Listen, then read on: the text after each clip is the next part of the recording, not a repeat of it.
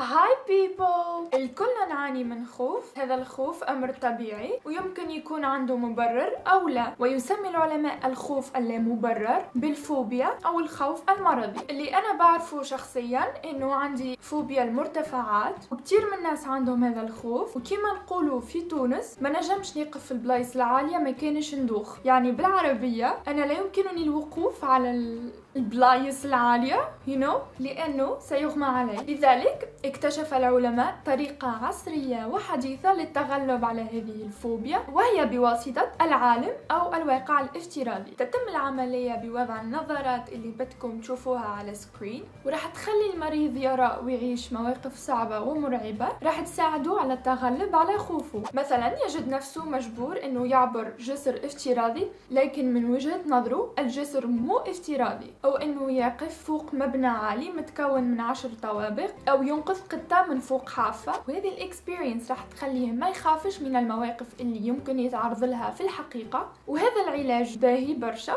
يعني منيح لأنه بيساعد المريض على مواجهة خوفه دون مواجهة خوفه يعني بيساعده على مواجهة الخوف متاعه بطريقة لا مباشرة.